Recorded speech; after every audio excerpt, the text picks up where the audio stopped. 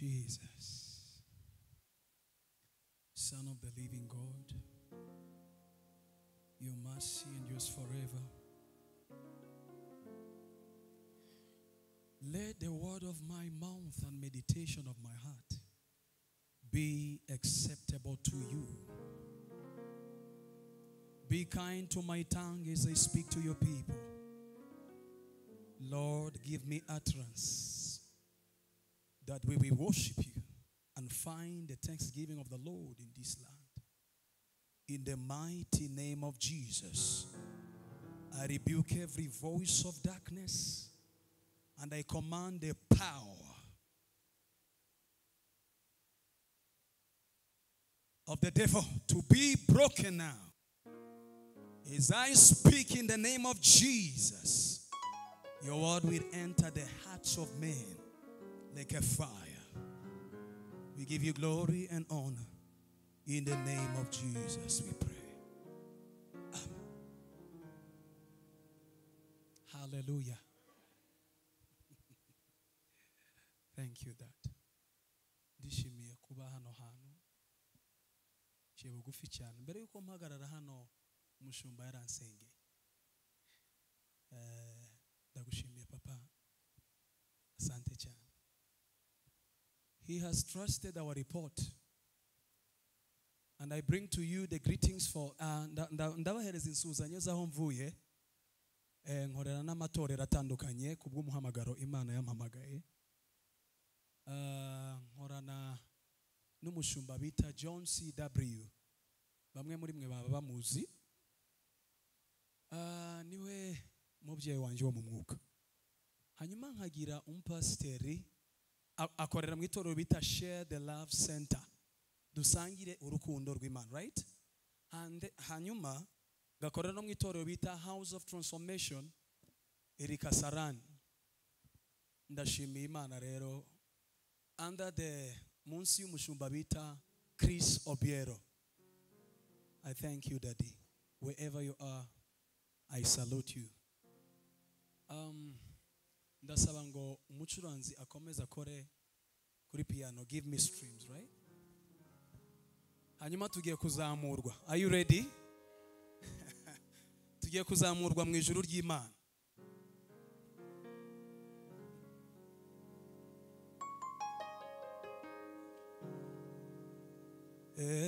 Elohim Adonai, your kingdom come, your will be done. Elohim Adonai, your kingdom come, your will be done. Elohim Adonai, your kingdom come, your will be done. Elohim Adonai, your kingdom come, Yo we beaten. Heli me combre. Vite pera su comenadali. Echimina sai compenatua. Mesisa compenata. Aipens copenama. Manche yasude. Barato compenski de vala. Mesusai cooperata. Mes compresi valaima. Shagabore. Leke mensisa panda.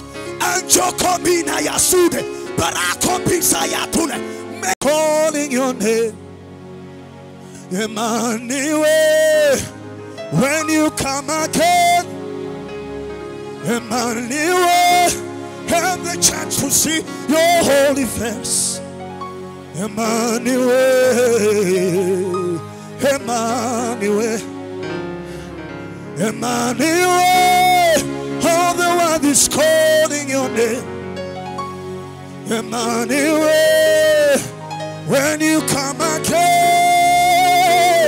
Emmanuel, have the chance to see your holy face. Emmanuel, Emmanuel, let only you be seen, let only you be seen, let only you be seen over the church on your way over the church, oh Yahweh, over the church, oh Yahweh, over the church, oh Yahweh, over the church, oh Yahweh, over the church, oh Yahweh, Emmanuel, Emmanuel,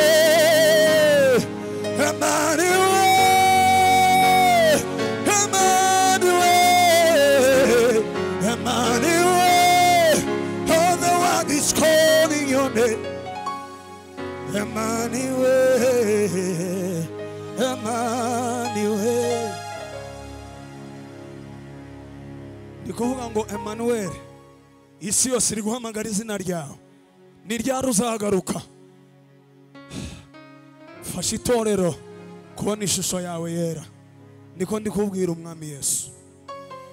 Kunda kuririmba kubera guterana n'abenegihugu cyane. Amagambo y'icyongereza aza vuba. Ariko ntabwo ariko nabishakaga. Ndabivanga hanyuma ndasaba ubufasha. Nimba hari umuntu ushobora kuba ah, igihe ngiye mu cyongereza ashobora kuba yabisobanura mu muhe mikoro hanyuma muze guhereza undi muntu mikoro ushobora kugira gute? Ushobora gusoma bibiliya neza adategwa hanyuma twige ijambo ry'imana. Dusome mu gitabo cya Matthew chapter 21 Matayo makumyabiri na rimwe umurongo wa mirongo ine na kabiri. Haleluya haleluya mbonye iteraniro ry'abamarayika muri aha hantu. Haleluya haleluya reka dusome ijambo ry'imana. Matthew chapter 21 verse is 42 are you there? Hariya dusome. Muhumure muranyumva. Umwuka wera ubwiriza ntabwo wabwiriza ururimi. Wari ubizi? Kandi ntabwo nkunda media. Nubwo wenda mushobora kuba muri ku nkamera ni byo? Ariko ntabwo naje kubigurishaho. Eh haleluya my name is Fisto. Amaz- amazina yanjye nitwa Fisto. Na nkora umu- umurimo w'imana mu mujyi mfite icyumba cy'amasengesho mu mujyi nyoboye urubyiruko rw'abanyakenya. Mfite abanyeshuri barenga mirongo itanu na babiri. Harimo na evangeliste cyubahiro. Bwana yesu asifiwe. Haleluya wuzuye umwuka wera ariko impamvu bizakunanira ni uko wanze kwicara munsi y'ubuyobozi. Nibyo. kandi guca bugufi eh, kubanziriza kuzamuka. Hanyuma ishyira hejuru bibanziriza kugwa. Haleluya ntabwo ntabwo ntabwo umuntu ajya abyuka mu gitondo ngo yigire aposito aposito ni umuhamagaro w'intumwa. Kwemererwa ni ukuvuga ngo imana n'ibitanga abefeso kane umurongo cumi na rimwe. Ngo bamwe yabahaye eh? bamwe yabahaye kuba intumwa. Abandi yabahaye kuba abahanuzi. Abandi yabahaye kuba pastors abashumba. Abandi yabahaye kuba abavugabutumwa. Haleluya abandi yabahaye kuba abigisha abigisha. Haleluya umuhamagaro ukomeye ni umuhamagaro w'umushumba. Ni umuhamagaro w'umushumba. Kuko yesu yarabivuze neza aravuga ngo intama mirongo cyenda n'icyenda ngo akajya gushaka imwe yazimiye. Uwo ni umutima w'umushumba. Pasiteri naratangaye. Mufite amavuta ateye ubwoba. Kandi kubera yuko nakwemereye nkaba umwana mwiza nkemera ko ntuma uraza gusengera ibirenge byanjye eh, uko nkomeza kugenda muri iki gihugu. Hari umuntu bahaye mikoro uri bumfashe kubwiriza okay. As long as i live igihe cyose nkiriho. I will give satan a very hard time. Nzaremerera satani cyane. Because anyone that god used you can you can stand somewhere there. You can stand somewhere there. Mushumba uranyemerera nze guhagarara n'aha ngaha okay. Asante hagarara turabwirizanya humura niyo mpamvu nashakaga ko baguha nk'icyicaro hano. Eh. Every body that God has ever used umuntu wese imana yigeze gukoresha is a coming back son. w'imana. Is a coming back son. Ni umwana wagarutse yabanje gusesagura hanyuma arisuzuma aragaruka. We are not in church ntabwo turi mu rusengero because we cannot afford temptation outside. kubera ko tutaba mu byo hanze We are in church because we are coming back sons. turi mu rusengero kubera ko twagarukiye imana And as long as I live, kandi mu gihe cyose nkiriho I will give Satan a very hard time. Hallelujah. I am not standing here ntabwo mpagaze hano because of my prayer. kubera imbaraga kubera amasengesho ye I am the answer to the prayer of our fathers. ndi igisubizo cy'amasengesho y'umubyeyi wacu Ndi igisubizo cy'amasengesho y'abasaza. Ntimu- Ntimutungurwe. Ndi igisubizo cy'amasengesho y'abasaza. Hallelujah. ndibuka umukecuru yajyaga atarama mu ijoro akavuga ngo ntabwo ngutunganiye mwami. Mfite intege nke mu mutima. Ndakubona ndetse mukiza nanjye ngomba barirwa ibyaha. Nkaza nkamwicara iruhande. Nkumva. Ntawanyigishije gusenga. Ntawanyigishije gusenga nabonye arimo asenga namwumvisha arimo asenga ntawanyigishije gusoma bibiliya. Nagiye navu- navukiye mu muryango. Eh, mama nyine na papa ni abantu bo mu nzu y'imana. Hanyuma nkabona ngenda tuzengurutswe n'abantu tuzengurutswe n'abantu eh, ba- bavuga imana right? Hanyuma nifuza gusoma bibiliya. Haleluya ni uko nguko nagize gute naje gukunda. Bibiliya ninde ufite bibiliya ntiza bibiliya give me yours. Mwami yesu ndagushimiye kubw'ijambo ryawe. Thank you for the word of god. Ushimwe kubw'ijambo ryawe. thank you for the word that has changed my life. Ushimwe kubw'ijambo ryawe ryahinduye ubuzima bwawe. This book changed my life. cyahinduye ubuzima bwawe. Thank you lord. Thank you for the holy spirit. Ushimwe kubw'umwuka wera. In jesus name Yeah, dusome nsomera nsomera Matthew chapter 20, 20 21 verse 42. Are you there? matayo makumyabiri na rimwe Mm. mirongo ine na kabiri Mm. yesu arababaza ati Yesu arababwira ngo ntimwari mwasoma mu byanditswe ngo ibuye abubatsi banze ntimwari mwasoma mu byanditswe ngo ibuye abubatsi banze. Niryo ryahindutse irikomeza imfuruka. Niryo ryahindutse irikomeza imfuruka. Ibyo byavuye ku Uwiteka. Ibyo byavuye ku Uwiteka. Kandi ni ibitangaza mu maso. Jesus was dealing with the community of Jews. Yesu yarimo avugana n'ubwoko bw'abayuda. Because they rejected him. Kubera ko bari baramwanze. And he was in their midst. Kandi yari hagati muri bo. But what he was now telling them, ariko icyo yarimo ababwira he was telling them that you rejected me. yarimo ababwira ko bamwanze. Who is Jesus? Jesus was the Word of God. Yesu yari ijambo ry'imana. In a human flesh. The Bible says in the, in the book of John, chapter 1, bibiri iravuga mu gitabo cya yohana in the beginning was the Word, mbere na mbere hariho and ijambo the Word was God, ijambo yari imana. And the Word was with God, right? kandi ijambo yari kumwe n'imana. None ninde yesu? Ndagenda bukeya kugira ngo twige. Yesu ni ijambo ryavuzwe n'uwiteka imana. Utamuzi ntiwahanura uzakoresha umwuka bita divination. Are you getting me? Murimo muranyumva. Verse 43 43 go father yeah. Mirongo ine na gatatu. Nicyo gitumye mbabwira yuko ubwami nicyo gitumye bw'Imana- mbabwira yuko ubwami bw'imana muzabunyagwa. The kingdom of God shall be taken away from you. ubwami bw'imana muzabunyagwa. Bugahabwa ishanga ryera imbuto And it shall be given unto nations that gave the amahanga, path or fruits of it. Buzabwera imbuto zabwo umva umva. Ndabizi ko muri ubwoko bw'abatambyi.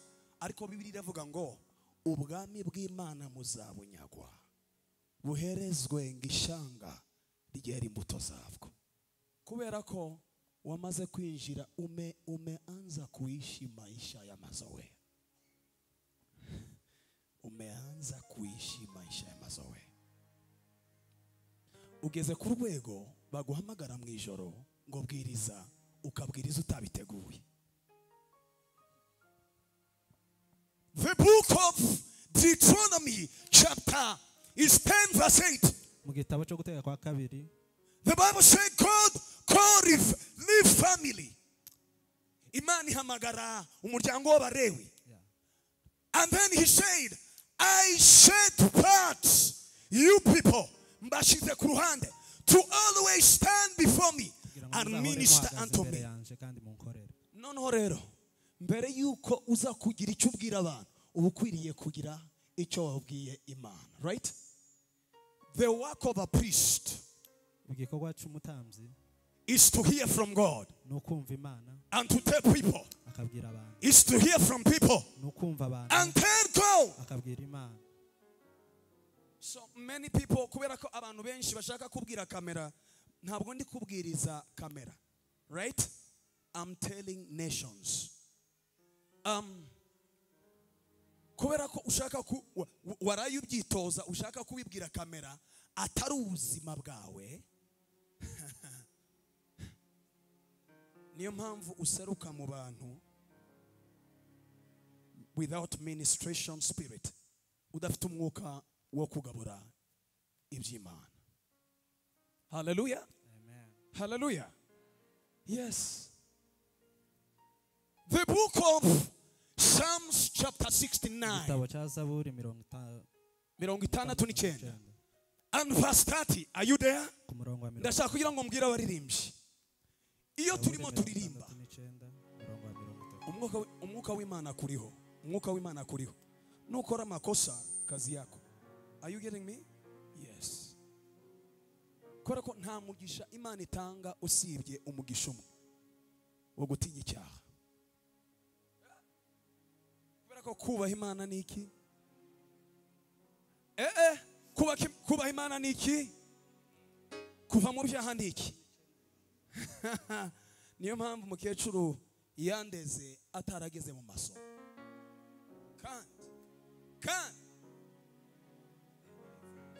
Skeperota figo menjo frapatus gimahano sevelo taimu. Embrizo felama. elama carisco pemeza ya padume. Injo vagato besuva hadome. Prascuvre perando. Ijimia falato sikome.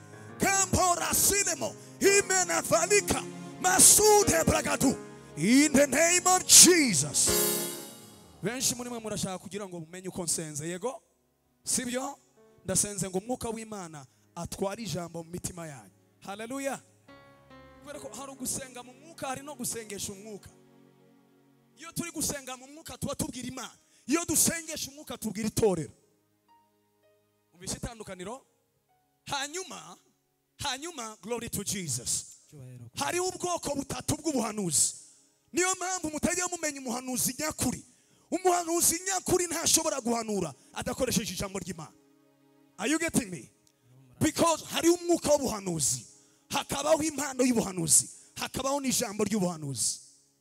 Bibiri iravuga ngo dufite ijambo ryahanuwe ngo rirushaho gukomera ngo rimeze nk'umucyo umurika mu mwijima ngo kugeza igihe inyenyeri ngo eh, ngo yo mu ruturuturu. Ndatangaye.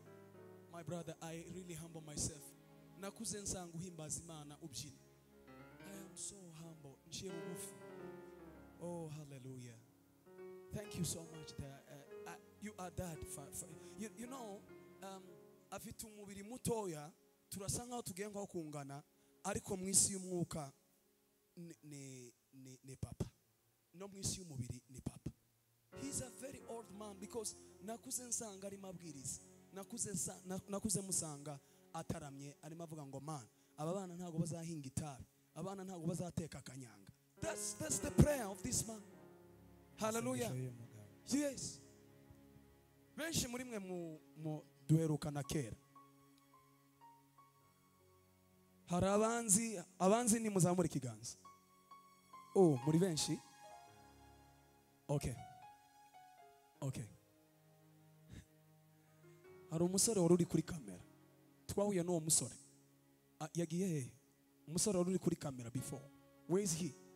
Uriya musore twajyanye mu rwanda twajyanye mu rwanda. Hanyuma turi mu modokari. Umwana w'umukobwa dayimoni aramutera. Shaka kumenya impamvu. Ariko mbere y'uko dayimoni amutera umwuka yari yambwiye ngo something is wrong. Hari ikintu kigiye kuba. Ndababwira ngo dusenge we na mukuru we. Ni umuhamya araza kubibabwira ntabwo ndi kwivuga. Haleluya yes. Hanyuma turasenga. Dayimoni yishyira hejuru. Afata wa mwana w'umukobwa yashaka kumwica turi mu rugendo. Bamutambukanye mufata ukuboko mufata ukuboko. Ndavuga mu izina rya yesu. I curse you in the name of jesus. Dayimoni ndakwishe mu izina rya yesu. Wa mwana w'umukobwa aragenda. Kubera ko hari ijambo namuvuzeho nari nizeye. Ndabareka aba- abayisilamu nibo bari babiteye. Baramutwara bamugeza hanze. Hanyuma mubuzaho ndavuga ngo dayimoni uzi izina ryanjye? Nakubwiye ngo musohokemo mu. Izina rya yesu. Musohokemo mu. Izina rya yesu. Musohokemo mu. Izina rya yesu. Out! Umukobwa arabyuka. Yari umugande. Arambobera. Avuga pasiteri imana ikumpera umugisha. Bibiri iravuga ngo ibi ni ibimenyetso bizagendana n'abizera ntabwo ari ukujya mu kazi. Umuntu ujya ugera ibwami akagaruka. Ni umuntu utinya icyaha kandi azi gusenga. Yosefu. Haleluya nugera ibwami uzagwa. Uzahinduka ibiryo by'abadayimoni. Kuko benshi muri mwe murasaba ngo imana ngo ibatware hanze. Imana mu bwami. Kubera ko muri abana b'imana imana ntabwo igukura ahantu utazi ngo igutware n'ahandi utazi. Oya. Hari ubwoko butatu buri mu butayu. Three categories of people suffering in the wilderness. Hari ubwoko butatu burimo bu- bubabarira mu butayu. There is the kind of people that have lost their way. Hari abantu babuze inzira. There is others that God is teaching. Hari abandi imana irimo kwigisha. There is others that have rebelled against God. Hari abandi ba- ba- hari abandi banze Imana. binangiye umutima. Kandi abo ngabo bazapfira mu butayu. Ntabwo ari mwese muzagerayo Elaidos kefedome preciso venkaito bejo Priheno fagano mesiga bora ilima sofito kombeskida varama esisi mija variatu kipona yasud mehanu saikomvelato rigamonde hasaito beskiva hadome efata imiryango nikinguke. Efata birasobanura ngo hakinguke mu izina rya yesu tuvuge twese ngo efata yesu. Ari kumwe n'abigishwa ngo yinjira mu nzu y'umugore akoresha ururimi batumva. Aravuga ngo yahalavine sobendo varamine ejomia karus bema harufa ikadon bendi asude makadon sakumbes kadima aravuga ngo tarita kumi. Bisobanurwa ngo mwana kanguka bibiri avuga ngo hari indimi z'abantu hakaba n'indimi z'abamarayika hanyuma rero hariho diverse tongues diverse tongues. Indimi zitamenyekana. Izo nizo dusengamo when we are unlocking. Igihe turimo dufungura ibirere. Hallelujah. when we are unlocking the dimensions of God. and call the dead back, back to life in the name of Jesus.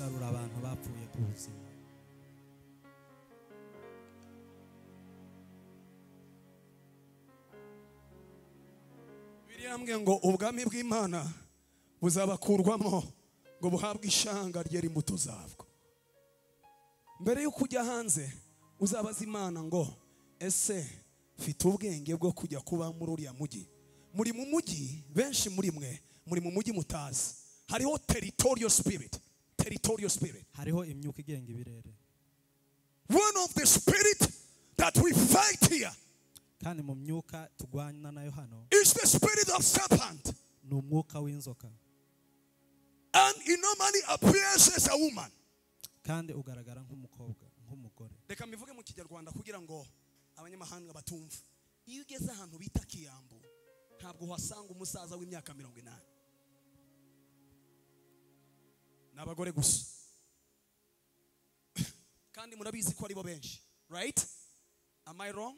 Right? Noneho rero iyo winjiyeyo bisobanuye ngo hariya hantu wagira ba nyirayo. You need to pray. Before I come to the altar, I was praying and asking the Spirit of God to give me utterance. mbere y'uko nza hano nasabye umwuka w'imana kumpa icyo mvuga. Uwo mugore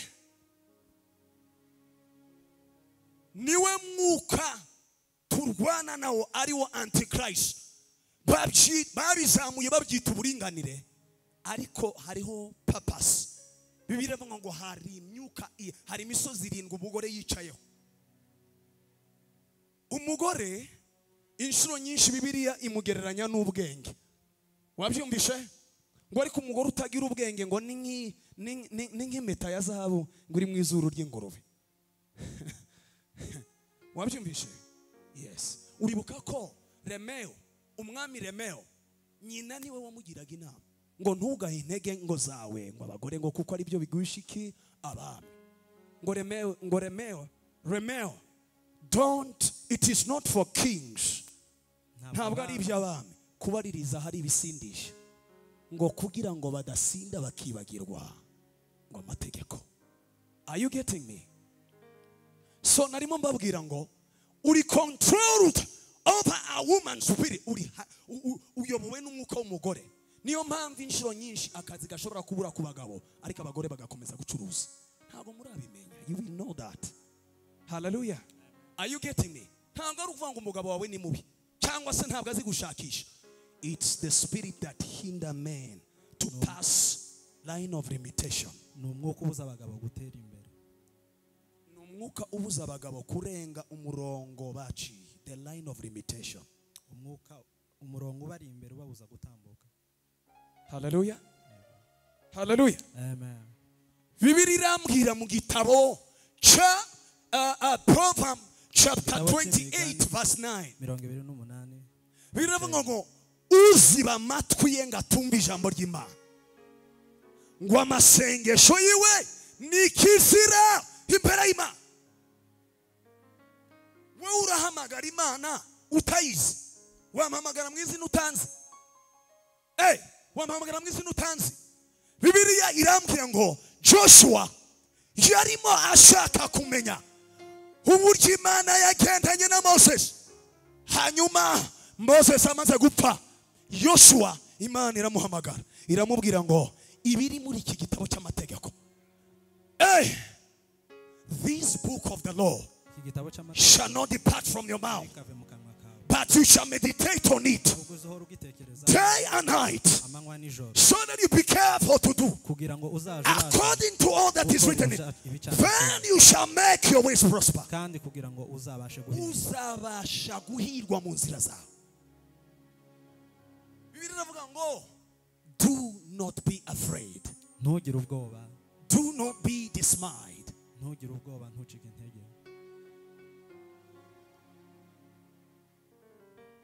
am i not the one that commanded you? Uwaguhamagaye cyangwa uwagutegetse sinjye wagutegetse. Rero my brother it is a risk. Ni ugushyira ubuzima bwawe mu kaga kugenda mu mujyi wa nairobi utazi ikigira gute ikimira abahanuzi. What swallow the prophet? Kimira abahanuzi. Kugenda nairobi udafite scriptures kuja Nairobi udafite ibyanditswe kujya mu kazi gupagasa udafite ibyanditswe. ushize ubuzima bwawe mu kaga. Uzagarukana inda uzagaruka uzagarukana ikintu satani azaguha umutwaro. Haleluya haleluya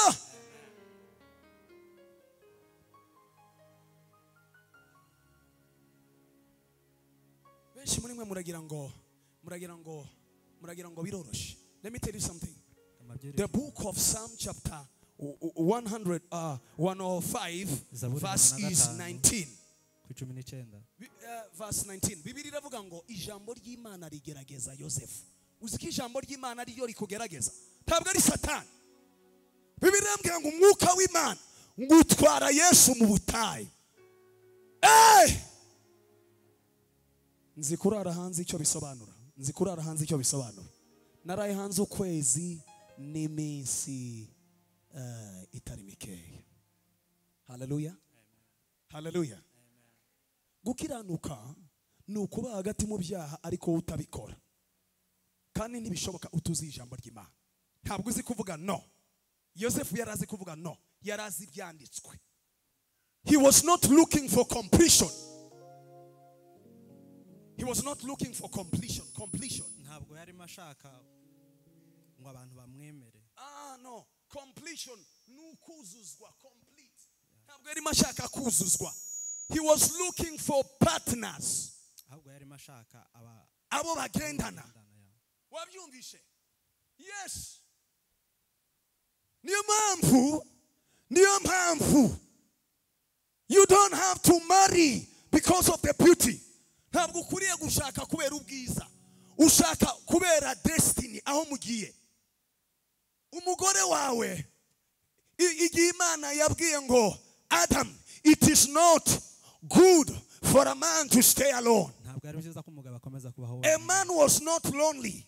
Umwe- umugabo ntabwo yari mu bukehwa. Ah umugabo ntabwo yari yari wenyine. Ahubwo ntabwo yari afite umufasha. Wabyumvishe wabyumvishe umugabo ntabwo yari wenyine. Wa mugore we. Wa mugore we.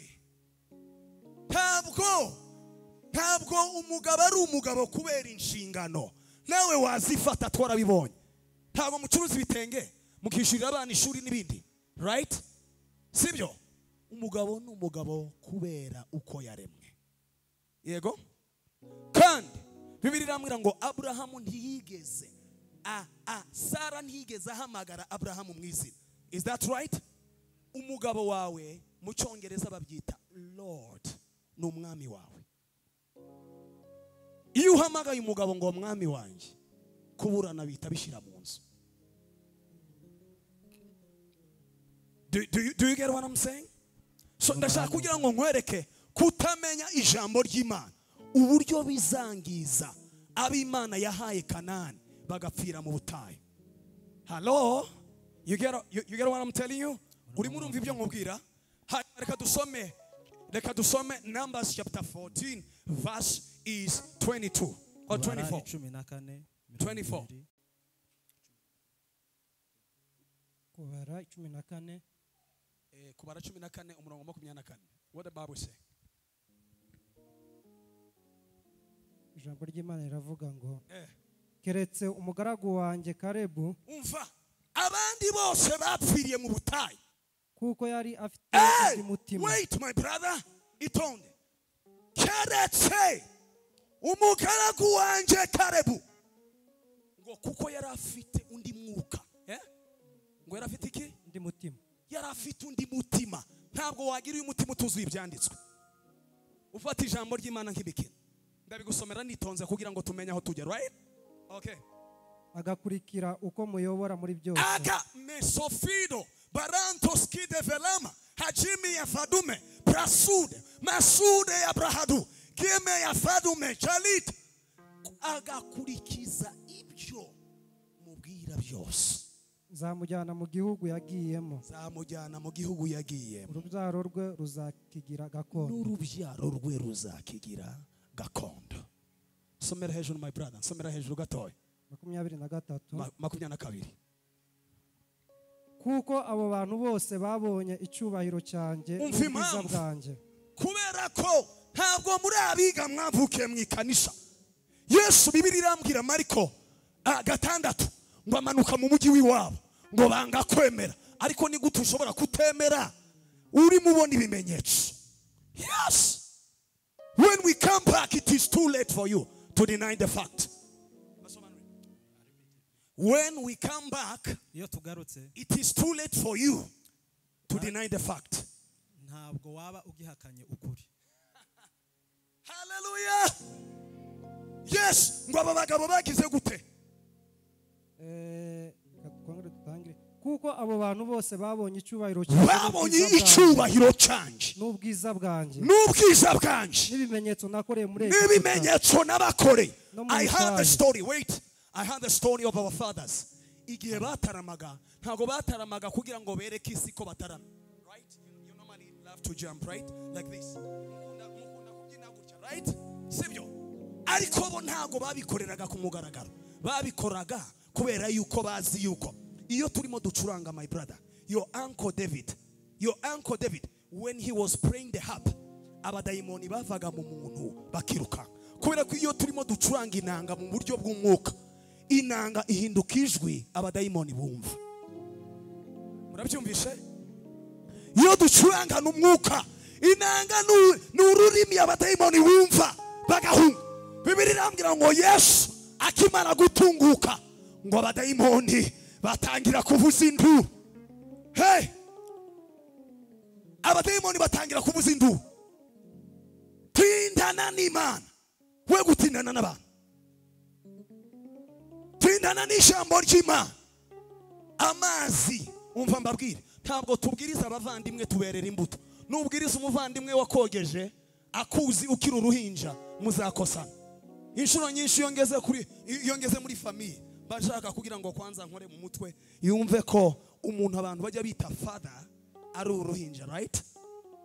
Ariko impamvu y'ibi ngibi ni ukubera ko igitabo cyambwiye ngo yosefu ijambo ry'imana rimaze kumugerageje. Bibiri irambwira ngo umwami amuha caci amuhereza ibintu bye byose ngo ajye yigisha n'abasaza.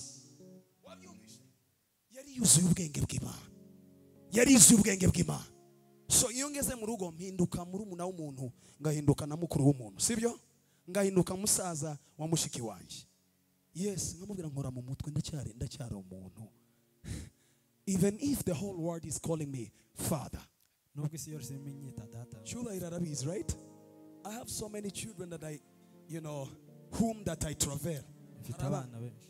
Eh, whom i travel right? Yeah, hari abana benshi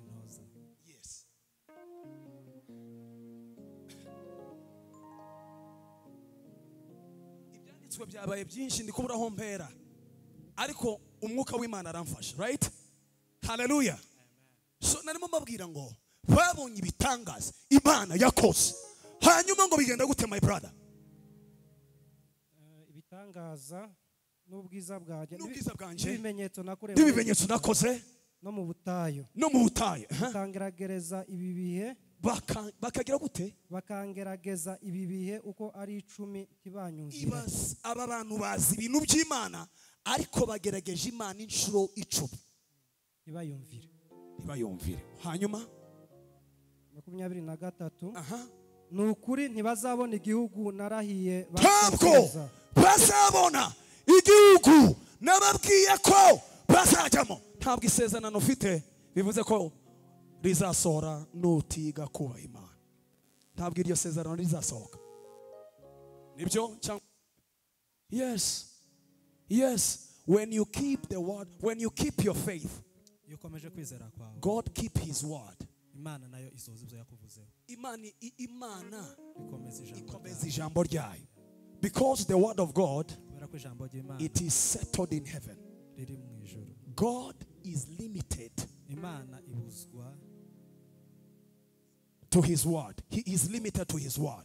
imana ikorera ku ijambo ryayo. Nta gishobora guhindura ku byo yavuze. Benshi muri mwe murifuza kumenya uko imana ivuga. Bibiri irambwira eh, eh, eh, igitabo cyo kubara numbers chapter 12 verse 6 bibiri iravuga ngo muri mwe nimba hazabamo umuhanuzi. Ngo i the lord will speak to you in the dreams of night. Imana ivuganye namwe mwe- nzavugana namwe mu nzozi. Kuko bari banze ko bari banze kumvira moses uyu yari aaron na miriyamu murumuna we. Is it uh, the brothers right? Yes. Hanyuma iravuga ngo if among you shall be a prophet. Nimba muri mwe hazaba umuhanuzi. Ngo i the lord will speak to you in the dreams of night. Nzabavugisha mu nzozi. Right? Hanyuma not like my servant moses. Ariko sinzavugana namwe nk'uko mvugana n'umugaragu wanje moses. Ngo to him i speak to face to face uwo mvugana nawe amaso ku yandi. Not in the dark speech. Ntabwo mvugana nawe. Mu- migani. Ntabwo. Mvugana nawe mu migani. Ntabwo ubizi ko ari icyubahiro cy'imana kuguhisha ijambo ryayo. Bibiri iravuga muri proverb chapter 20 25 verse 2 mu migani makumyabiri na gatanu umurongo wa kabiri. Bibiri iravuga ngo icyubahiro cy'imana ni ukwiguhisha ibi ngibi ibiri muri iki gitabo. Yesu hanyuma ngo nawe icyubahiro cyawe ni uko ubishakisha ukabimenya.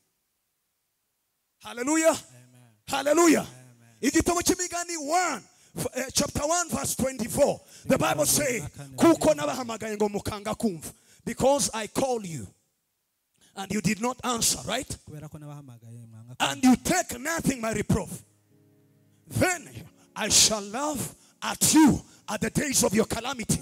Nanje nzabaseka mu gihe cy'ibyago byanyu nzabaseka. Ibaza umwana w'imana. Imana irimo iraguseka.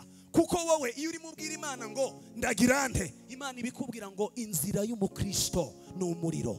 Uba ukwiriye kumenya ko your ankles your ankles ba muyomba wawe. baciye mu muriro. Ni inzira y'umukristo. Umuriro ni inzira y'umukristo. Hanyuma amazi na yo ni inzira y'umukristo. Haleluya hanyuma umwana w'umuntu agatabaza. Imana iravuga ngo i will laugh at you. Nzaguseka. Ngo ugeze mu gihe cy'amakuba.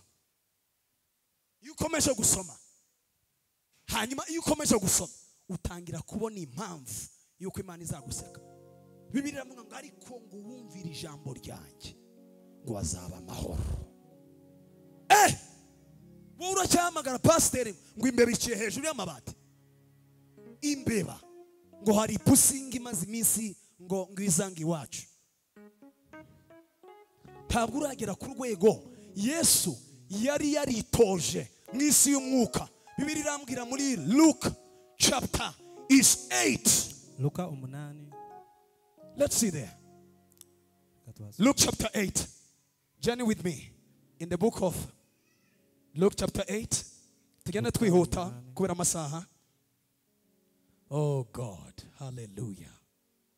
Hallelujah. Praise the Lord. Bibiri irambwira ngo makumyabiri na kabiri. Umunani makumyabiri na kabiri. Bibiri iravuga ngo somera wihuta my brother. Soma wihuta kubera ko. umunani makumyabiri na kabiri haravuga ngo aha, aha. nuko ku munsi umwe yikirana mu bwato n'abigishwa be arababwira ati asa n'abandi yesu yari umuntu ijana ku ijana ariko yari yuzuye ijambo ry'imana. Kuko ni we fasiti born ni we imfura y'abizera.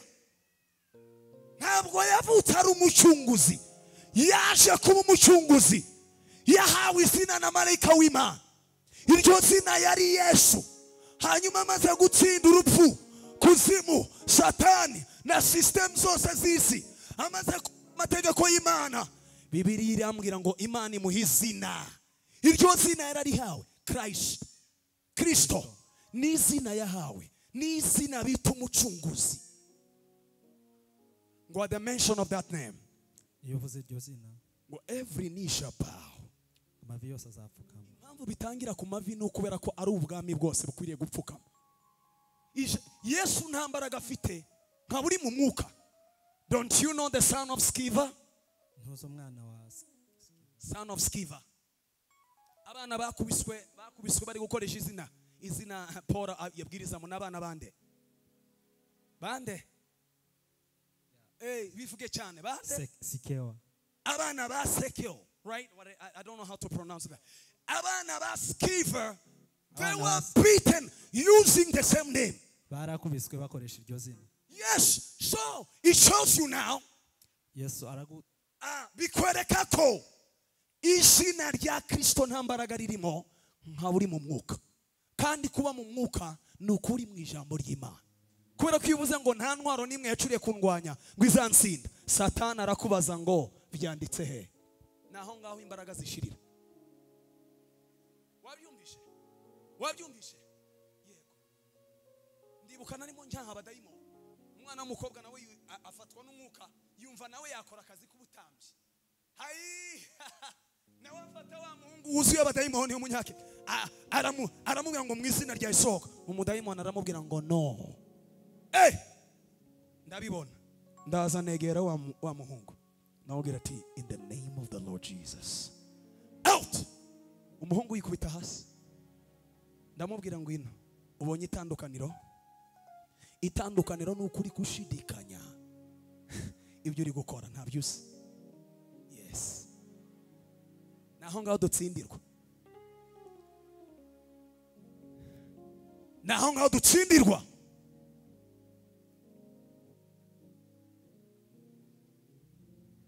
bibiliya irambwira ngo. Uwiteka imana azabaseka mugeze mu gihe cy'amakuba ibyo bintu birashoboka kwe ni ukuvuga ngo imyaka cumi n'ibiri wagakwiye kuba uri mu rusengero uri umwarimu. Ariko aho uri naho wagakwiriye kuba ni umugayo urabyumvishe but the bible said that he shall restore the years that was stolen right? Biravuga ngo izagarura imyaka yose mwatakaje. Izagarura imyaka watakaje. Nimba uri willing. If you are willing. Niba ubishaka. Izagarura iyo myaka yose watakaje. Haleluya nimba kuri karindare y'imana wagakwiriye kuba ufite itorero ry'ibihumbi bitandatu hanyuma ukaba ufite abakristo ijana waratsinzwe. Nibyo? Waratsinzwe. Negereye abasaza b'iki gihugu ndababaza niki cyagushije urubyiruko? Ni ibiki byabaye? Hindrance. Hindrance. Nihe mbogamizi mwagize mu gihe cyo kubwiriza ubutumwa? Ndabikunda cyane ku- kumarana umwanya n'aba- na- na- n'abasaza. Kababaza niki? Niki niki nuwuhe mwuka mwabonye urw'urubyiruko nuwuhe mwuka? What? Bagenda banyongorera. Barambwira ngo ahangaha ni ho bamwe bagiye bagwa. Ahangaha ni ho abandi bagiye bagwa. Bibiri iravuga ngo ukoreshe amaboko yawe nk'uko twabategetse. Kugira ngo mugendane ingeso nziza kubo hanze. Ngo ari ntacyo mubuze. Kubera ko iyo wamaze kwitoza gukoresha intoki zawe that's Thessalonian first Thessalonians chapter 11 verse uh, uh, uh, chapter 4 verse 11 kane no ku ah, cumi ah, kane no ku right. Niko bibiri ivuga ngo ukoreshe amaboko yawe nk'uko twabategetse. Kubera ko ba mukecuru barananiwe ntabwo bashobora gukora. Ariko wowe ushobora gukora. Hari umuntu wambwiye ngo ntabwo ngo mifatanya ngo no gusenga. Reka nze nkubwire. Iyo utarasengerwa ngo uhabwe inshingano reka ntujye ntukore ikosa ryo gukora umurimo w'ubutambyi wonyine. Urabyumva? Urabyumva? Arambwira ngo ngiyo nshaka gusenga ngo harige ngo byanga ngo kubera ko ngo mba ngiye mu kazi. Genda urimo usenga papa we. Genda urimo usenga nta mwanya wo gusenga tugira. Umwanya wo gusenga turawukiriyetinga yes. While you are walking. Urimo ugenda ikibazo cyawe ntabwo unyuzwe. Ntabwo unyuzwe no ku mukristo. Urashaka kwigereranya. Iyo ugeze mu bandi ni gute usuhuza my brother how do I greet you? How do, do, do I always greet you? Ngusuhuza gute buri gihe? Ngusuhuza gute?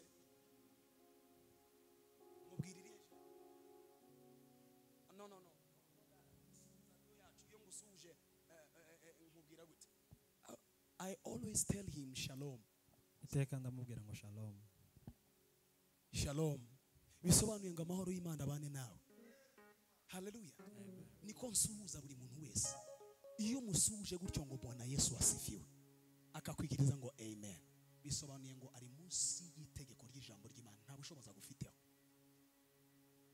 Ariko wowe urasuhuza abantu ngo mambo ngo poa. Bwana yesu wasifiwe poa. Ntabwo wigishijwe ntabwo wizi ko twebwe iyo uri mu isi ah umva umva kano kantu.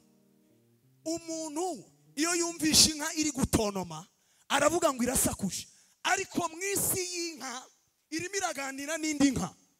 Mwabyumvishe when you are in the realm of cows iyo uri mu kirere the cow is talking to one another. Inka iba irimo bugana that when it is now making that loud voice, iyo irimo ya you say it is making noise, right? uravuga ngo irimo isaku But I want you to understand. Ariko ndashaka kumenya ko you need to come in the realm of cows. ugomba kuza mu kirere cy'inka. Ukwiriye kuba ukwiriye kuza mu isi y'inka kugira ngo wumve ijwi ry'inka.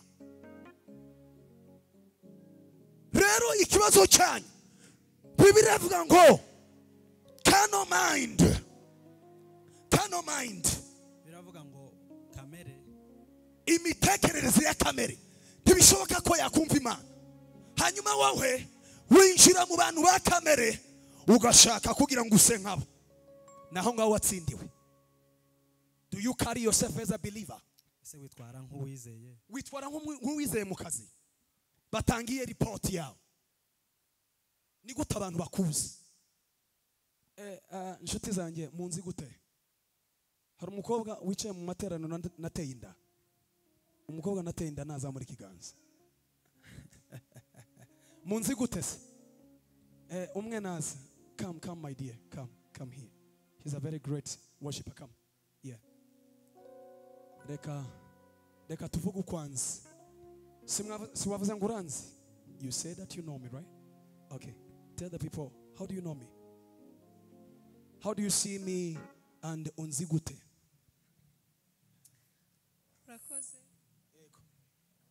uko muzi ngo heruka kera uri umuririmbyi right? niko nakumenye uri- worship. Aha hanyuma? Sinari ntabwo wari uperuka.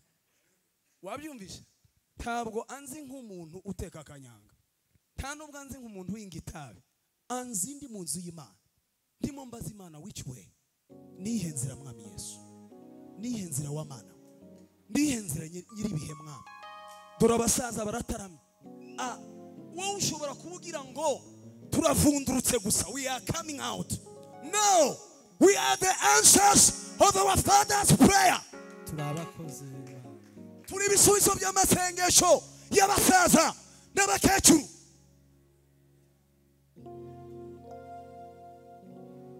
How do you live your life? Ese ni gute ubayeho mu buzima bwawe? Today is victorious.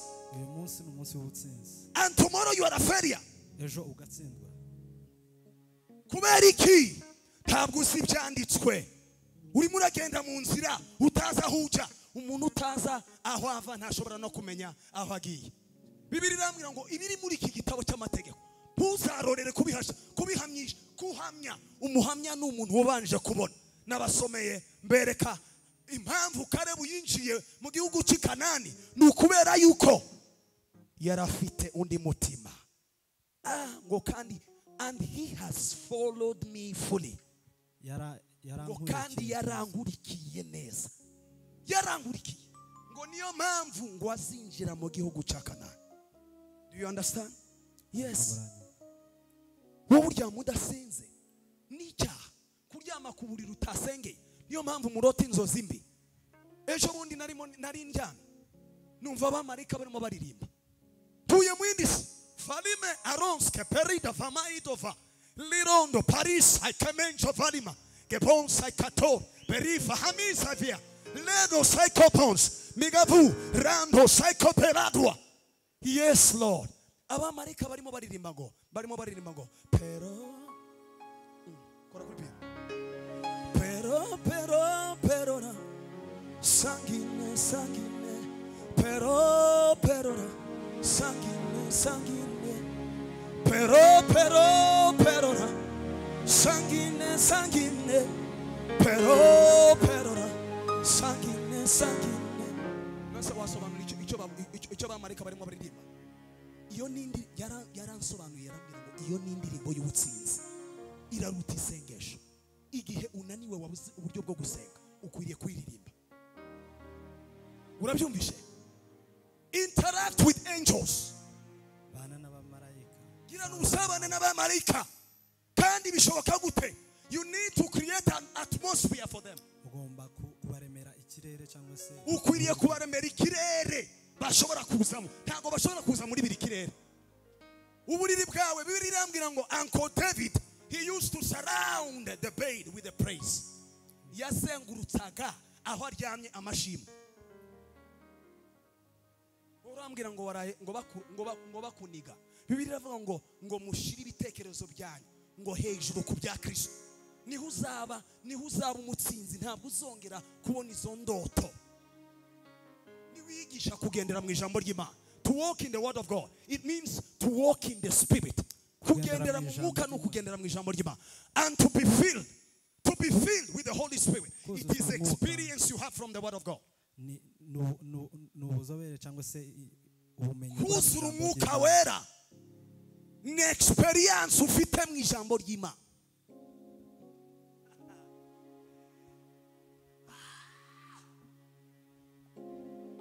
Jesus. Jesus. Jesus. Let your word in the name of the Lord Jesus be glorified.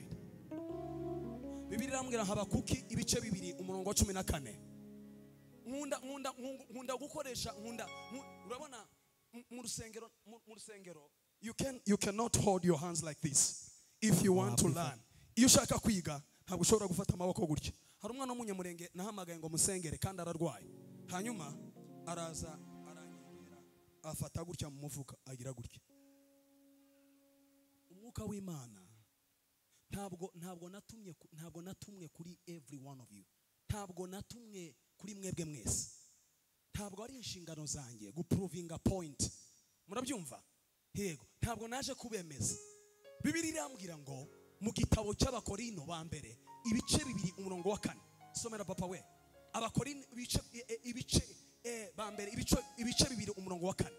Bibiri irambwira ngo paul ntabwo yari yaraje kubiyemeraho akoresheje amagambo y'intyoza. Hoya aka gatuti tukabonera tukabona tukabona dutaramye mu ijoro. Haleluya yes. Ahangaha kugira ngo hahagarare uhasaba mu ijoro. Havuze gute?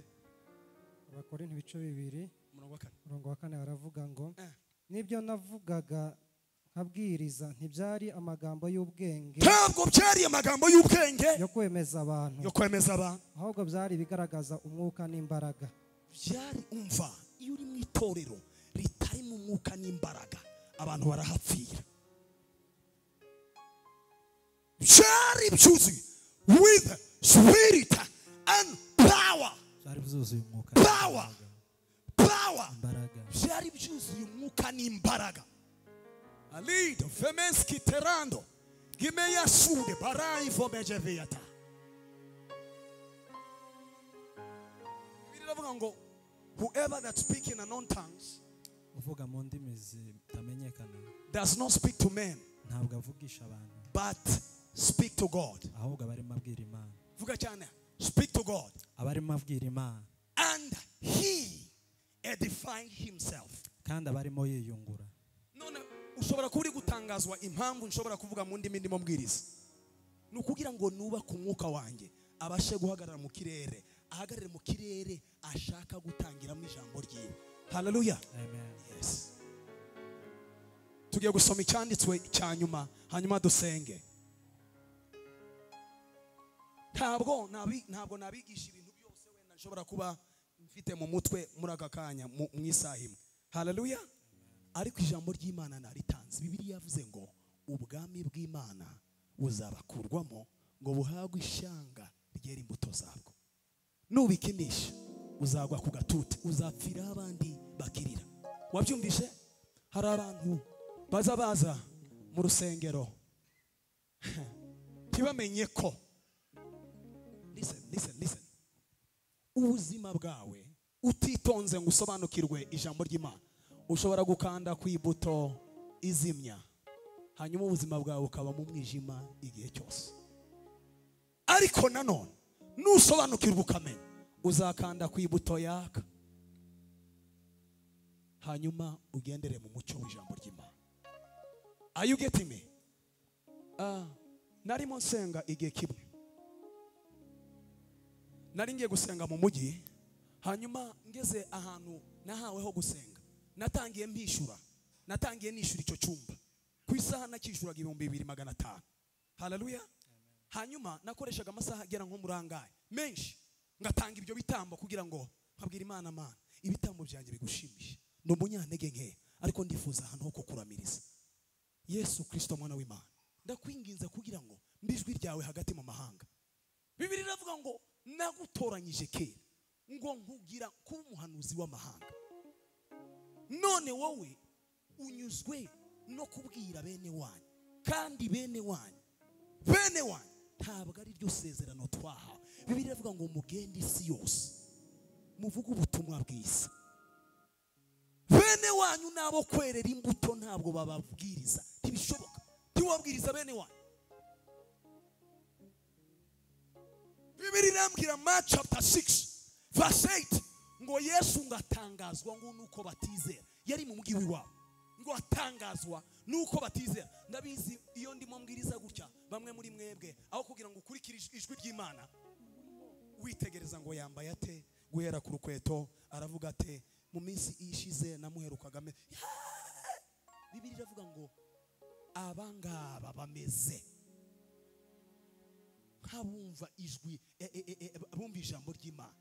Hanyuma umwanya mutoya umwanya mutoya bakagira gute? Papa bakaryibagirwa wewe nimba wumvira kwibagirwa ntabwo uzacungura amahanga. Nta byiringiro tugufiteho. Urarya udasenze ubwibone urarya udasenze uragenda mu muhanda udasenga. Hey! Bibiri irambwira ngo yesu ngo arimo agenda ngo ahura n'ababembe cumi.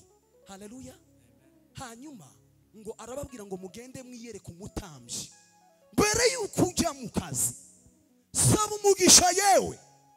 Yego saba umugisha. Kubera ko winjiye winjiye winjiye you are now you have been sent as a lamb among the wolves. Wagiye nk'intama mu ugiye nk'intama mu birura. Hey! Hanyuma rero iyo utamenya uburyo ugendamo ibyo birura biguhindura ibiryo uwo munsi. Bibiri irambwira ngo umwe ngo yitegereje abona arakize. Hanyuma ngo agaruka yirukanka gushimira umutambyi. Amasengesho y'umushumba ntashobora kukugeraho atazi ituro ryawe. Ntabwo muzi ko kurwanya abarozi ntabwo ari ugukura ibiheko. No. Kubera ko abarozi bagira byinshi. Batanga. Ibitambo kugira ngo babahe ibyo bintu. Are you getting me? Kandi imbaraga z'imana zitwereka ko ushobora kukimwambura. Nibyo ariko rebellion spirit. Umwuka wo kwigomeka aragenda azana ikindi nubwo bwamakoreramo you get? Hanyuma rero icyo nkubwira. Bibiri irambwira maraki chapter chapter chapter 3 verse 4 gatatu no kuri kane Ma- mara- ma- maraki maraki ibice bitatu umurongo wa kane. Ngo amaturo y'ubuyuda n'ay'i yerusalemu. Reka kuko yamunezezaga mu minsi ya kera ngo kandi ngo uwiteka azagira gute? Ngo azabanguka guhana abarozi. Hanyuma ngazagaruka no guhana abasambanyi. Iyo niyo myuka ibiri izamuka ikagera ku ijuru. Kubera yuko utakoze icyaha cy'ubusambanyi ngo ucumure ku mubiri wawe. Inshuro nyinshi umurozi ntabwo ajya ashobora kugufata. Nibyo. Check where you have allowed uncleanness reba aho wemereye kwanduzwa. Check where you have allowed uncleanness reba aho wemeye uranduzwa. Devil cannot touch you satani ntiyagukoraho. unless you give him to. Keretse umwemereye. Ngewe umurozi aba- hari abantu basengera abarozi. Ngewe I, I don't pray for the witches. Witches they need salvation. Ubushobozi Abarozi mbafiteho ni ubushobozi bw'ijambo ry'imana. Yesu bibiri irambwira ngo arimo ahangana na dayimoni satani aramubwira ngo haranditse ngo. Eh! We give them instruction. Tubaheza amabwiriza. Tubaha amabwiriza.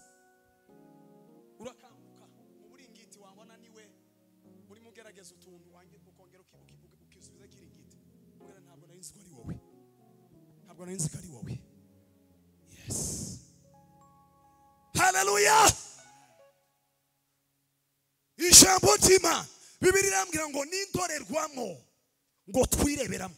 Kandi iyi ndorerwamo ntabwo ari indorerwamo igaragaza ishusho yawe. Ni indorerwamo u- urebamo hanyuma ukabona ishusho y'undi muntu. Ari we kirisito umwana w'imana yesu kristo ni ijambo ry'imana matayo makumyabiri na kabiri. Soma papa. Matayo makumyabiri na kabiri. Umurongo wa mirongo ine na kabiri. Bibiri irambwira ngo yesu arababaza ngo ibya yesu mubi abaza abayuda ngo ibya yesu mubizihiki niko havuga? Yesu ngo ibya yesu ha ngasomera wihuta wihuta kuba umwanya mirongo ine na kabiri.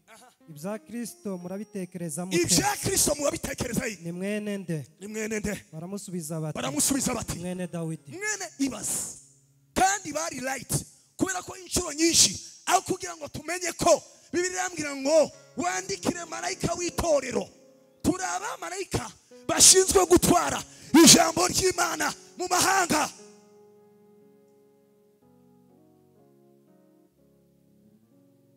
Intumwa zose ni abamarayika bashinzwe ntabwo ndi umuvugabutumwa i have been given a course nahawe igikorwa I have been given a course. nahawe igikorwa Learn how to differentiate mwige gutandukanya a preacher and a man of God. umuvugabutumwa n'umuntu w'imana Learn. Iga gutandukanya umuvugabutumwa n'umuntu w'Imana.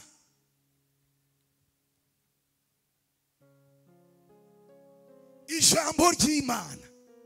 Ijambo ry'Imana. Bibiri irambwira ngo Jesus, or God was in Christ, yesu yari imana yari muri kirisito reconciling the whole world to himself. yiyunga n'isi yose binyuze muri kirisito imana yambaye akamero k'umwana w'umuntu. Ni ukuvuga ngo ijambo ry'imana ryinjiye mu muntu urabyumva? Yesi ntabwo mubizi ko kubera yuko ubwoko bw'abayuda bwanze iryo buye ari ryo rikomeza imfuruka. Bibiri irambwira ngo oh my god. Ndabizi ko ndi kubasiga ndabizi ko ndi kubasiga because i can hear so many scriptures. Hallelujah. Ndumva ibyanditswe byinshi bi- bi- bisobanura uwo- ari we. Yesu ni ijambo ry'ima he is called rema creative word of god. Niwe jambo niwe jambo ry'imana rirema. Hanyuma rero tumusobanukirwa dukoresheje logos. Ah. ibyanditswe. Wabyumvishe yesu niwe sezerano. Yesu kirisito niwe sezerano rica dufite kandi isezerano ryose haba hakwiriye kuba igitambo. Tugira amasezerano agera muri atanu. Isezerano rya mbere ryari irya nowa aburahamu moses ariwe wazanye amategeko. Hanyuma kirisito bibiri irambwira ngo in the night that he was betrayed. Mu ijoro yagambaniwemo. Yes he took the cup. Yafashe igikombe. And he said this is my new covenant. Aravuga ngo iri ni sezerano risha in my blood. Mu maraso yanjye. Mu maraso yanje ngo mujye muri ngo mujye murifata buri gihe haleluya rero reka nkubwire. Umwuka w'indwara umwuka w'indwara. Abadayimoni batera uburwayi babita unclean spirit cyangwa se spirit of infirmity. Haleluya ni abadayimoni na- n'abamarayika bananiwe kuba mu mibiri yabo bariperinga against god. Bakora ibyangwa n'amaso y'imana. Hanyuma abo badayimoni baburaho kuba nibo binjira mu mubiri w'umuntu bakamuteza uburwayi. Umuntu rero uba mu isezerano ry'amaraso ya yesu. Bibiri iravuga ngo mu mibyimba ye niho twakiriye. Mu mibyimba yiwe niho twakiriye. I took communion every day. Mfata ifunguro ryera buri munsi. I take the cup before me. Shira igikombe imbere yanjye ngafata n'umugati. Kavuga ngo mwami Yesu iki gikombe cyisa amaraso yawe uyu mugati mwisa umubiri wawe. Mana nyiribihe. It is more than it is more than enough. Birenze ibyo nkeneye. It is more than enough to set me free. Hanyuma nkawumanyura ngatangira kuwurya iyo iyo mpawe ibyo kurya byaturaho umubiri wa kristo. Ntabwo uburwayi bushobora kwinjira mu mubiri wawe. Inshuro nyinshi abadayimoni binjira mu mubiri yanyu. Kubera ko mutazi ko ibyo babagurishaho byo kurya hari abapfukamiye abadayimoni kugira ngo babashe kubibagurishaho. Ibyo murya isezerano ryose rikorwa igihe abantu barimo barya. Hari igihango? Wabyumvise? Yes. Hanyuma umunyabyaha umugore w'umunyabyaha amaze gusobanukirwa yesu uwo ari we. Bibiri irambwira ngo nimba dawidi amwita umwami ni gute ashobora nanone kuba umwana we? Aho yarimo asoma hanyuma rero hanyuma rero babura icyo bamubwira. Kuko dawidi yari yarise yesu kirisito umwami wiwe. Haleluya kuko yari ngo ijambo ry'imana. Yari asobanukiwe ijambo ry'imana. Bibiri irambwira bibiri irambwira oh my god help me to preach holy ghost. Ni ukuvuga ngo ijambo ry'imana. Reka mbereke aho dawidi n'abandi baririmbyi. Zaburi ya mirongo itandatu n'icyenda umurongo wa mirongo itatu. Bibiri iravuga ngo i shall praise the name of the lord with a song and i shall magnify him with a thanksgiving. this shall please him better. Ibi bizamunezeza than the, the bullock kuruta ibitambo by'amapfizi. Ntimuzi ko nowa yaherezaga imana ibitambo by'amapfizi. Abaheburayo ibice icyenda umurongo makumyabiri na gatatu. Bibiri irambwira ngo ibyo bakoraga birasa nk'ibibera mu ijuru kuko ari imana yabibabwiye. Ariko ngo yesu ngo ntabwo yinjiye ngo mu rusengero ngo rwakoreshejwe amaboko y'abantu ngo ahubwo yinjiye mu ijuru bwaryo. Haleluya! Haleluya! Bibiri irambwira ngo amaze amaze na amaze gushimisha uwiteka amaze kubaha amategeko y'imana amaze gutanga igitambo cy'umubiri wiwe. Haleluya ngo arazamuka aravuga ngo lift up ye kingure and thou be open so that the king of glory shall come in. Umuryango kugira ngo umwami kugira w'icyubahiro ngo yinjire. Umwami w'icyubahiro yinjiremo. Yarimo abwira abamarayika. Abamarayika ntabwo bari bazi ko ari we wacunguriye imana abantu. Haleluya Amen. abwira amarembo y'ijuru ngo kinguka. Kinguka. Ha lift up ye gate. Kingura umuryango. And be lifted. So that the king of glory kugira ngo umwami shall come in. Baramubaza ngo nuhe mwami w'icyubahiro ngo the god mighty and the, the lord of hosts kandi imana y'amafarashi. Umutware w'ingabo. Haleluya kuko yatsinze. Umwanzi w'abantu. Haleluya Amen. haleluya as i finish reka ngire icyo mbereka ndangiza uh, uh, the book of uh, the book of uh, hosea chapter chapter igitabo cya 6 hoseya igice cya gatandatu. Hosea chapter 6, my brother. We are preaching together. I don't know how you are standing. You're gonna you're gonna help me how to preach. Hallelujah. Hosea chapter 6, verse 1 and verse 2 and verse 3. We're gonna finish right now. We we are wrapping up, right? Okay. Hoseya ibice bitandatu umurongo wa mbere aravuga ngo Aravuga ngo nimuze tugarukire uwiteka Hosea atangira kubwira ubwoko bw'Imana kuko baramwanze. Iki ni igihe abigishwa bari bari kumwe na Yesu ariko bagakomeza kumubona mu mubiri.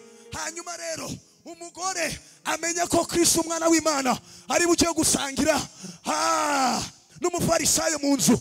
Aravuga ngo afata afata afata. Oh my God. He took the alabaster oil of anointment. Afata icupa ry'amavuta.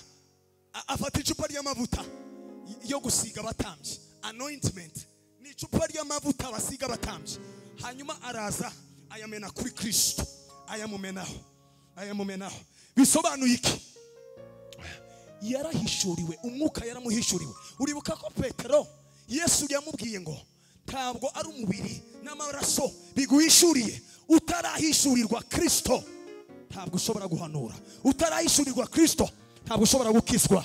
Kuko ni we jambo imana yatumye mu isi ari ryo sezerano risha. Dufitanye n'imana. Haleluya hanyuma amumenaho ya mavuta. Hanyuma aririra ku birenge byiwe amuhanaguza umusatsi wiwe. Uzi icyo bisobanura? Yarimo amubwira ngo ni wowe mwami wanje. Ni wowe mutambyi wanje. Kandi ubwiza bw'umukobwa cyangwa ubwiza bw'umugore ni umusatsi. Aho umusa aho umuhanaguza ibirenge. Aho ni ukwicisha bugufi. Umwuka w'imana iyo wicishije bugufi arakwihishurira. Haleluya hose yababwiye ngo iki? Ubu ni ubwoko bw'abayuda. Bari basanzwe bazi amategeko. Nk'uko nawe wavukiye mu ikanisha ariko utazi ijambo ry'imana. Bibiri irambwira ngo imana iraguseka ngo mu gihe cy'amakuba kuko utazi icyo ukwiriye gukora. Ntabwo uzi kwizera ari ijambo ry'imana kandi kwizera ariko gukinga igituza kugira ngo kitamenagurwa n'abadayimoni. Haleluya! Niba nta kwizera ufite ntabwo ushobora kwirukana abadayimoni ntibishoboka. Nigeze kwinjira mu cyumba mu mbabarire. Nasanze abayumbe barimo ba- barimo bitoza gusenga. Koraho barimo bitoza gusenga right? Barimo bitoza gusenga. Barasenga barasenga. Bari bamaranye uwo mwana im- im- iminsi itatu. Barimo bamusengera. Iwabo w'umwana barimo bohereza ibyo kurya bakarya umwa- umwana bakarya bakamugumaho bakamu ninjira muri icyo cyumba nari mvuye gusenga. Mbwira wa mudayimoni. Ndamubwira mu izina rya yesu. Sohoka muri uwo mwana. Out in the mighty name of jesus. Wa mwana w'umuhungu. Arabohoka. Ndamubwira mumufungure barambwira ngo ntitwamufungura ndamubaza ya- ya- yashoboraga kuvuga? Barambwira ngo hoya. Kuko babonaga yuko basa nkaho basebye ntabwo mu bwami bw'imana there is no celebrity in the kingdom of god. Ntabwo mu bwami bw'imana habaho kwi- kwiyamamaza cyangwa se kugira ngo ntabwo ari ukwiyamamaza mu bwami bw'imana but it is fruits ahubwo ni ni imbuto. Ukwera imbuto. Hanyuma ndamubwira bite papa. Aransubiza ngo ni byiza. Umeze neza. Yego. Ah. Umubyeyi abyumvisha aratangara arambwira ndatangaye. Aba bagabo bari bamubonanye iminsi itatu. Ndamubwira mumufungure umwana w'umuhungu ashaka kunkurikira. Ndamubwira ati umwuka w'imana akuweho mu izina rya yesu. Nari ntunze akabwa ka kizungu. Umu- umu- umumama w'inshuti yanjye yigeze kumpaho umunyakenya kubera ko nibo mbwirizaga. Haleluya akambaye nk'impano. Najyaga ngakinisha nkakabwira go go go. Kagakomeza kumbwira ngo murabizi ko kakunda imikino hanyuma iyo nkabwiye ngo step back. Iyo nkabwiye ngo genda. Nkoresheje uburakari kariruka. Ntabwo umudayimoni ashobora kugenda agira amatwi mabi. Nkaba ukoresheje ubushobozi bw'ijambo ry'imana. Rero dayimoni yari arindiriye kumva umuntu uba mu butayu. Haleluya yes. Tinda mu butayu. Musaba amavuta. Musaba imbaraga.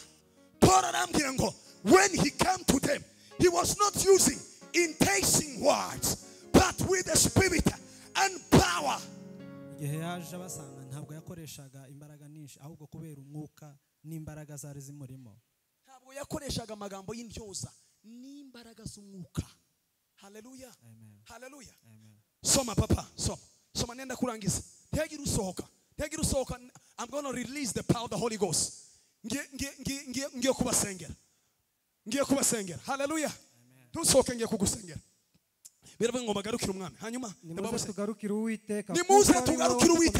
Uyu ni hoseya yari mabwira ubwoko bw'imana. Muze tugarukire uwiteka. Hanyuma kuko ari we wadukomerekeje kandi niwe uzadukiza. Niwe waduko yarabihishuriwe. Yahishuriwe yuko imana yabyemeye ko bakomereka. Kandi bari abantu b'imana. But they knew not to take advantage of the grace ntago bari bazi gukoresha ijambo ry'ubuntu bw'imana. Ntago bari bazi ntago bari bazi icyo yabavuzeho. Niyo mpamvu bakomeretse. Wabyumvishe wabyumvishe iyo yari kategori y'abari mu butayu. Ariko kubwo bari berinze against God they choose to rebel against God. Kubera kuko bigometse ku mana. hanyuma rero inzoka zitangira kubarira mu butayu. Haleluya haleluya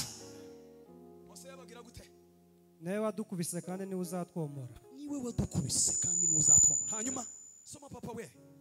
Kabiri. Ndatangaye. Kuraruha njyewe ngaho azaduhembura tumaze kabiri. Azaduhembura tumaze kabiri. Ku munsi wa gatatu azaduhagurutsa tumaze kabiri. The bible of english bible the bible says after two days. Kubera ko isi imaze im- im- iminsi ibiri. Isi yacu imeze iminsi ibiri. Yarayobye yaragiye kure y'imana iyi minsi ibiri tuyimaze twaragiye kure y'imana. Murabizi neza? Kubera ko igihe imana yaremye umuntu yaramubwiye ngo nukora ku giti kimenyesha ikibi n'icyiza no gupfa uzapfa.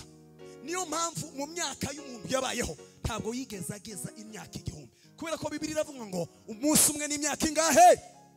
Vuga cyane umunsi umwe n'imyaka ingahe? Hanyuma iminsi ibiri n'imyaka ingahe? We are in the morning early of the third day. Turi mu gitondo cya kare cy'umunsi wa gatatu. Ariho twitegura kugaruka k'umukiza. Haleluya ntabwo umuntu yigeze abaho umunsi umwe imbere y'imana. Kubera ko yaracumuye yari yaryatunda metusera yabayeho iminsi magana cyenda. Ntabwo yigeze ageza umunsi. Mileniyamu rero isezerano dufite ni uko azagaruka tukimana nawe. Imyaka ingahe? Vuga imyaka ingahe? Vuga cyane my class please. Imyaka ingahe? Imyaka igihumbi. Nicyo gihe tuzaba imbere y'imana umunsi umwe. Haleluya yes. Kubera ko adamu na eva ntabwo bigeze babaho uwo munsi. Bacumuye ku mana. Bituma batabaho ubuzima imana niwe wagize gute? Kandi ku munsi wa gatatu on the third day on the third day he shall revive us. Azagira gute? Azaduhagurutsa azatwihishurira. Iyi bibiri iravuga ngo azaduhagurutsa kandi tuzabaho turi imbere ye. We shall live the bible english we shall live in his sight. Tuzabaho. Sight uzabaho mu mucyo wiwe. You shall live in his sight. Ngo uzabaho ugeze gute? Tuzabaho turi imbere ye. Tuzabaho turi imbere ye. Ntabwo umuntu yatinze imbere y'imana. Ntabwo umuntu yigeze amara umunsi imbere y'imana. Mwabyumvise? Haleluya ntabwo umuntu yigeze amara umunsi imbere y'imana. Mbere y'uko umuntu amara umunsi imbere y'imana yarapfuye.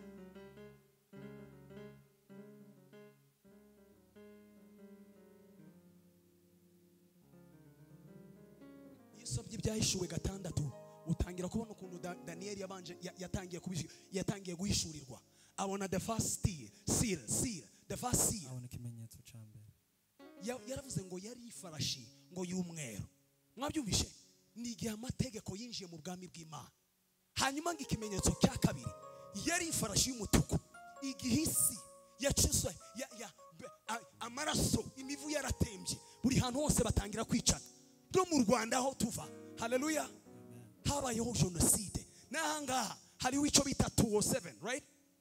Ba isi yose yamennye ayo maraso ngo hanyuma ikimenyetso cya gatatu cyari iki cyari iki ifarashi. Y'ubururu. Haleluya. Ah, yari ifarashi y'umukara ifarashi y'umukara ni igihe isi yari icuze umwijima. Icyo gihe twaraki experiencinga already. Igihe korona yateye nta muntu n'umwe wari uzi ahari. Mwabyumvishe igihe cya kane rero ni cyo turimo kandi ni cyo dutegereza umukiza. Ni igihe cy'ifarashi y'ubururu n'ifarashi y'umukara. Igihe hagaragara umucyo mukeya hakagaragara n'umwijima mukeya. Ukwiriye kumenya aho uri.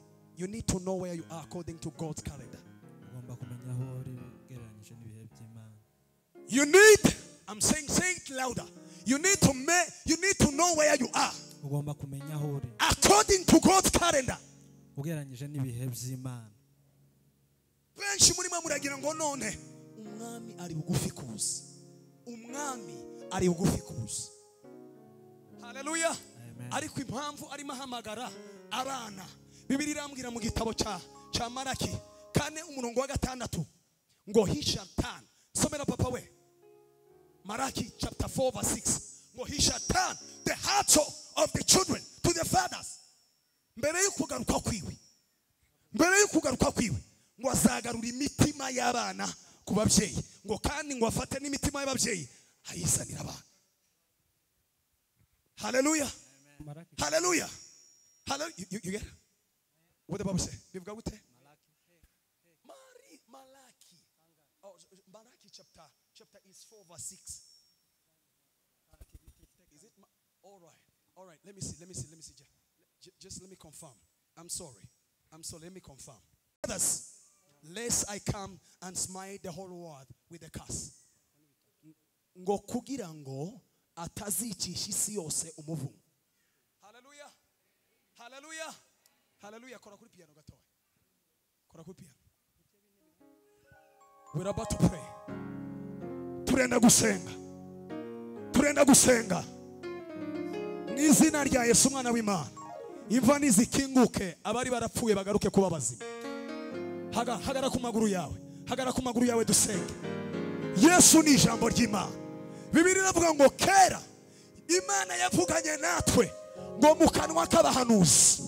Hanyuma muri iyi minsi ya nyuma ngo imana izavugana natwe mu kanwa k'umwana wayo ari we yesu kirisito haleluya utazi rero umwana wayo. Ntabwo ushobora kumva ijwi ryayo. Kubera ko ijwi ry'imana muri iyi minsi ya nyuma ni umwana wayo. Ni isezerano rishya. Haleluya! Amen. Haleluya! Amen. Haleluya! Haleluya! Amen. Biravuga ngo ubuntu bw'imana bwarabonetse. Ngo butwigisha ngo kureka kutubaha imana. Ntabwo ari uburenganzira bwo gukora ibyaha ntabwo ushobora kuvuga mu nzimi ntabwo ushobora kuvuga mu ndimi. Amasaha ane hanyuma ngo utangire wikinishe. Haleluya! Ntabwo ushobora kuvuga mu ndimi amasaha ane ngo nurangiza ukore umukobwa mu mabere. Ntabwo bishoboka. Ntabwo bishoboka. Ntabwo ushobora gutambira imana amasaha cumi n'abiri hano hanyuma ngo utere inda. Ntabwo bigenda. Umwuka w'imana. Haleluya bibiri iravuga ngo aho ari ngo hari iki? Where the spirit of god is there is a liberty. Aho umwuka w'imana ari hariho kubohoka. Aho umwuka w'imana ari. Nyongereza ino mikoro gatoya ngo aho umwuka w'imana ari hari iki? Hari ukugira gute? Hari iki? Tujye gusenga. Cu- curanga piano curanga, piano. Cyane yishyire hejuru yishyire hejuru gatoya ngiye gusenga iminota mikeya fata ku mutima wawe fata ku mutima wawe. Shyira ugufi imbere y'imana. Emera ko ukeneye ubufasha mu ijuru. Emera ko ukeneye ubufasha bw'umwuka wera.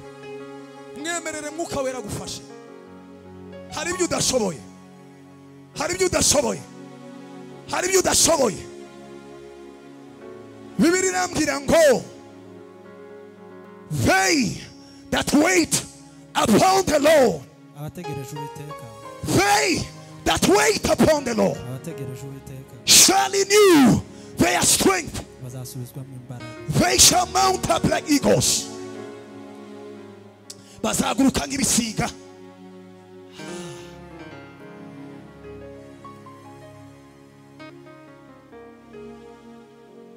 tegereza uwiteka tegereza uwiteka mwami yesu. Mwami yesu. Falina egemisho pari. Garimi hadamas eremi hakadu. Bando yakufe demenjia valata rekadusa pene. Mina hadusa fina. Elemonza kupe. Daimasa ikopens babatize mu mwuka wawe. Wuzuza imbaraga. Wuzuza imbaraga. Kuko eliya yakiriye mwami yesu umugati. Kuko eliya yakiriye umugati. Kubera ko iminsi kubera ko iminsi. Ari myinshi. Bibiri irambwira ngo ngo urugendo ni rurerure. He received the second bread from heaven. Yakira undi mugati. Batamika undi mugati. Kuko bari bacitse intege laimindo vaika peresavina adai jemia kadora vakabora endibisiatavera bampakato ligabala ligabala ligabala ashembiakato mendeyabania nimba ushobora kuvuga mu ndimi baguhe mikoro ukomeze gusengana nanjye vuga mu ndimi vuga mu everybody that is able to speak in tongues. Buri muntu wese ushobora kuvuga mu ndimi navuge mu ndimi vuga mu ndimi kayitakanya kayikapana kayikapena mesiye fakana Elohim Adonai, your kingdom come, your will be done. Ni kuvuga ngo ubwami bwawe buze, icyo ushaka aricyo kiba, icyo ushaka aricyo kiba. Elohim Adonai, your kingdom come, your will be done. Eh, Elohim Adonai, hey, your kingdom come. Your will be done. Eh, Elohim Adonai. Your kingdom come. Your will be done. Fata umutima wawe. Hari imbaraga ziri kwinjira muri wowe. Hari imbaraga zumuka. Hari imbaraga zumuka. Hari imbaraga zumuka.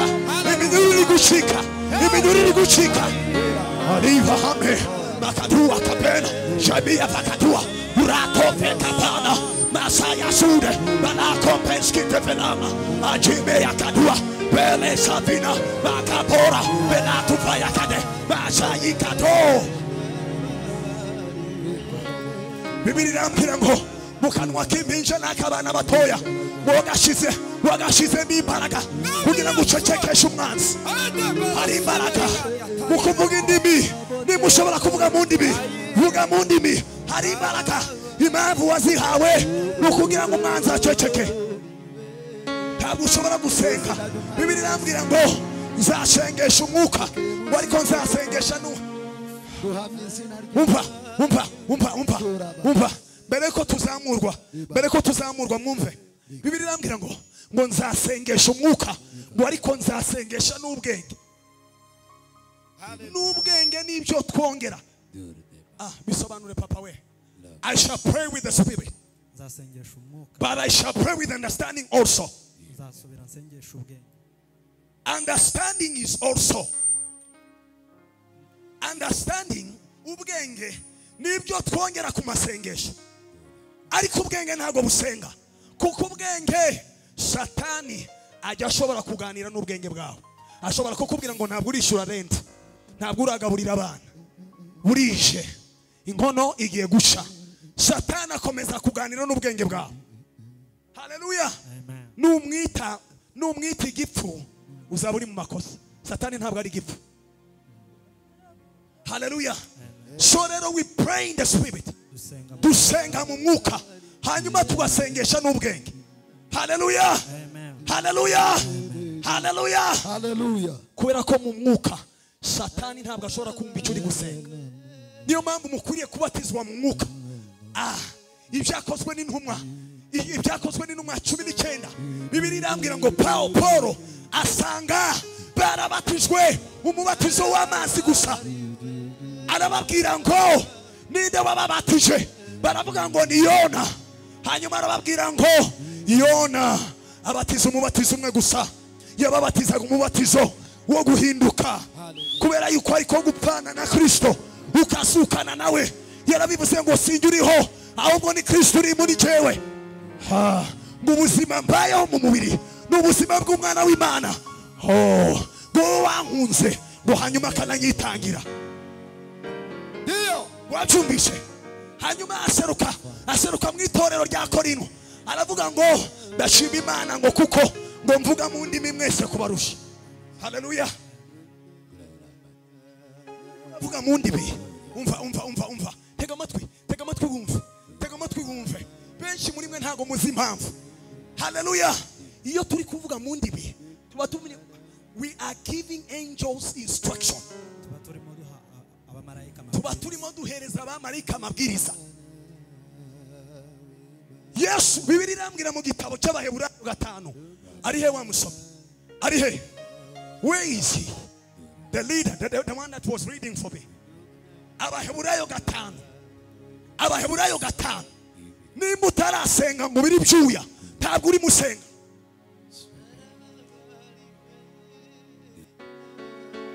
Abaheburayo gatanu ibice biri ibice bitanu umurongo wa karindwi. Habuze gute? Nimba uri aho ngaho please lead for me. Nimba uri aho ngaho nsomera. Kubera ko tugiye kuzamurwa. Ntabwo nshaka ko dusenga dusenga empty prayer amasengesho adahari. Ndashaka yuko dukura imbaraga mu ijambo ry'imana hanyuma tukaguruka nk'ibisiga. Niko bibiri ivuga ngo abategereza uwiteka ngo bazaguruka nk'ibisiga. Ntabwo ushobora hari ahantu ibisiga bihurira.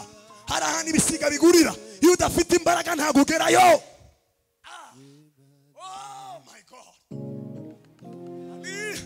Koima harim, Jibia Katera, Parasu Sema, Priso Felama, Hagimaya Tula, Priya Vamana, Jikaparia, Takima, Takima, Takima, Takima.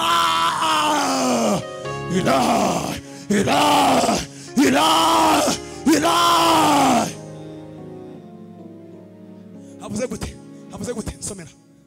gatan umurongo wa karindwi, umurongo umurongo wa karindwi. Habuze gute. Soma twihuta my brothers. Haravuga ngo yesu akiri mu mubiri. Yesu umva. Yesu ni we dukwiriye kwigana.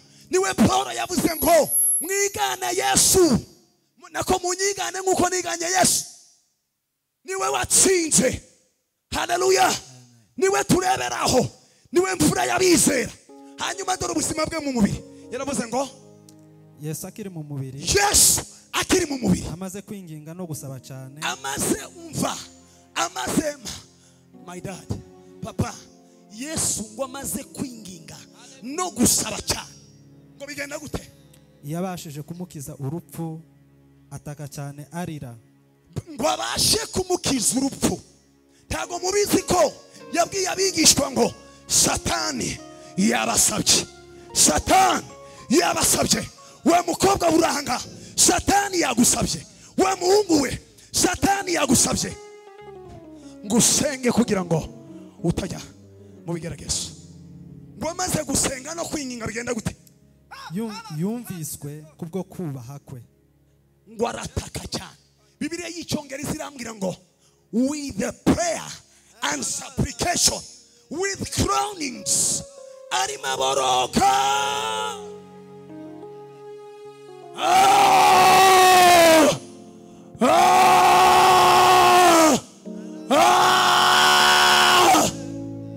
Kuko mwami yesu nafashwe n'urukundo rwawe niko mbahamagaye. Basohoke mu izina rya yesu. Basohoke basohoke basohoke. Basohoke aho satani yabahindurira imbata. Mu izina rya yesu. Hagarara ku maguru yawe hagarara dusenge. Nababwiye ngo ntabwo natumye ntabwo natumwe kuri mwebwe mwese. Ndabizi ko harimo amatwi. Bibiri irambwira ngo ezekiyeli we ngo ni inzu y'abatumvira ni inzu y'abatumvira. Ntabwo natumwe kuri mwebwe mwese. Abakeneye gukira uyu mugoroba murakira. Mu izina rya yesu.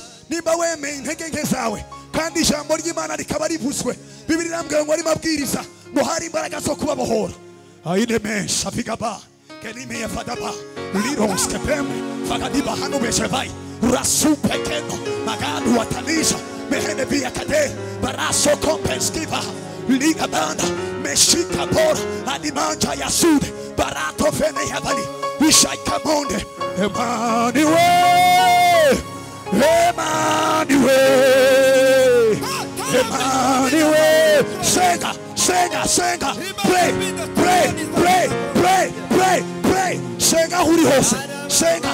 Fungura akanwa kawe fungura akanwa kawe fungura akanwa kawe. Senga windeba senga windeba nta muntu wagusengera senga senga senga bibiri irambwira ngo ikizenga ishyirabo ngo mubaba ko y'umuhigi ariya gende mesiya pakata ipreseviya menjo ya sude kapora sagibi ya valada preskife femenadi ya valadua ichemena ya sude barato kombensk mayato via ulegebanda ulegebanda ulegebanda aikemena valado ipakatua sabina masaya kobensa ya katua lagabanda ulegabanda everyone pray. Buri muntu nasenge buri muntu nasenge shumuka ikize ikize nk'isirabo mu maboko y'umuhigi. Aliya fadima jekombeski de belama ajiye maladua kepo yasadi rakobezayata mwami yesu.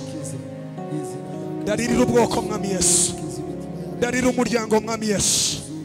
Ndarira ibihugu yesu. Africa shall come back to jesus. Africa shall be saved. Africa izabohorwa afrika izagarura ishimwe ry'umwami mwami yesu. Mwami yesu. Babatize mu muriro babatize mu muriro babatize mu muriro bongererwa imbaraga in the name of jesus. Mu izina rya yesu. Umva umva umva umva umva ni musozi hari umwana umva umva umva mureke kubangamira umwuka wera. Listen listen listen listen. Don't interrupt the spirit of god. Haleluya reka kubangamira umwuka wera. Ndabizi ko mugira uburyo bwanyu bwo gusenga ariko ntabwo nkunda idini. Iyo iyo iyo mpagaze mu bushobozi bw'ijambo ry'imana. Haleluya haleluya nakubwiye ngo nta bundi bushobozi ngufiteho usibye ubushobozi bw'ijambo ry'imana. Mpagaze mu bushobozi bw'ijambo ry'imana. Ntabwo ndi kukubwira ngo dusengane. Uyu ni umwanya wo kugusengera wabyumvishe uyu ni umwanya wo kugusengera umwuka. Hari umwana umwuka w'imana ashaka gukoraho. Hari umwana mutoya. Umaze iminsi ababara mu nda iwabo baragerageje. Iwabo baragerageje. Biranga. None umwuka w'imana arashaka kumukoraho. Ni umwana w'umuhungu. Ukiri muto cyane. Natambuka imbere mukoreho.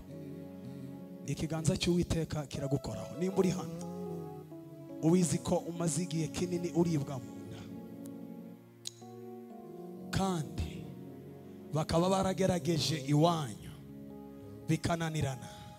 Tambuka ngusengere tambuka. Ndaguhe amasegonda cumi n'atanu nimba udahari tura turatanga gahunda. Haleluya uwo mwana w'umuhungu arahari? Nimba uri umubyeyi uri aha ngaha fata mu nda yawe. Dusengere uyu mwana w'umuhungu hari iminsi satani yamubariye yo kubaho haleluya satani yamubariye iminsi yo kubaho. Agiye kwibwa. Fata mu nda yawe nimba uri umubyeyi dusengere umwana w'umuhungu. Nimba uri umubyeyi fata mu nda yawe. Twubahe imana.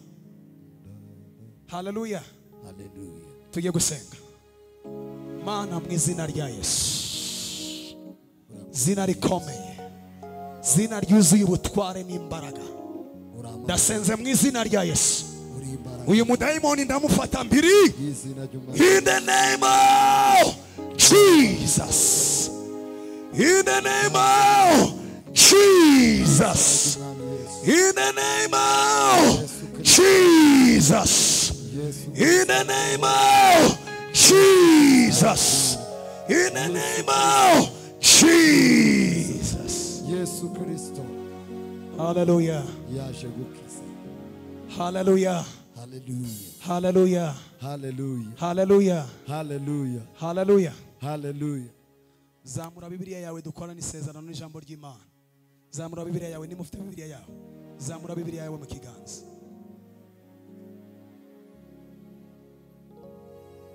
Ntabwo nkunda kubwiriza. Ntabwo nkunda kubwiriza. Nkunda kwiga kuko iyo nsoma ijambo ry'Imana ndi impinduka mwebwe mushaka kubona. Hallelujah. Hallelujah. ntabwo ntabwo nsoma bibiliya kugira ngo nze mbabwirize oya soma bibiliya kugira ngo mpinduke nta nubwo nsenga ntabwo nsenga kugira ngo nze kubwiriza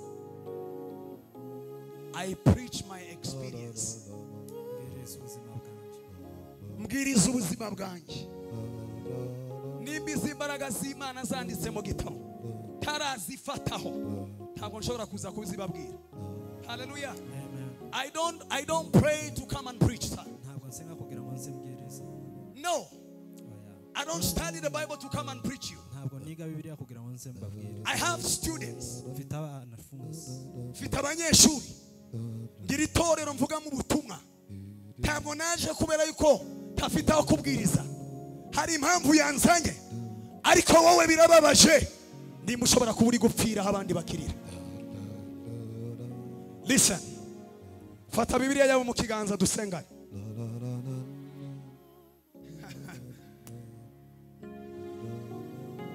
Bibiliya iravuga ngo joshua igice cya mbere umurongo wa munani. Tugiye gukora n'isezerano n'ijambo ry'imana. Ibi ngibi mbikora buri munsi. Kugira ngo ibitekerezo byanyu bitazajya kure y'ijambo ry'imana. Bibiri iravuga ngo hahirwa. Udakurikiza imigambi y'ababi ngo nahagarare mu nzira z'abanyabyaha. Ngo ntiyicarane n'abakobanyi. Ngo ahubwe amategeko y'imana. Ngo akaba ariyo yibwira ku manywa na nijoro. Ngo azahwana n'igiti. Oh! Ngo azahwana n'igiti cyatewe ku mugezi. Ibyishimo byawe bikwiriye kuva mu ijambo ry'imana. Haleluya zamura bibiliya yawe zamura bibiliya yawe nimba udafite bibiriya zamura telefone nimba ubizi ko ufite nawe the bible. If you have bible electronic bible in your phone lift it lift it up as a sign of obedience. Zamura iyo bibiliya nk'ikimenyetso cyo kwizera. Hanyuma dusengane rino sengesho pereza umushumba umwanya bibiri iravuga muri mu gitabo cya yeshuwa igice cya mbere umurongo wa munani. Bibiri iravuga ngo vuga cyane ngo ibiri muri iki gitabo cy'amategeko. Sinzarorera kubihamisha akanwa kanjye ahubwo nzabitekerezaho ku manywa na nijoro kugira ngo mbashishwe gukora ibihwanye n'ibirimo. Nibwo inzira zanjye zizahirwa. Mu izina rya yesu. Amen. Imana ibaha umugisha. Amen.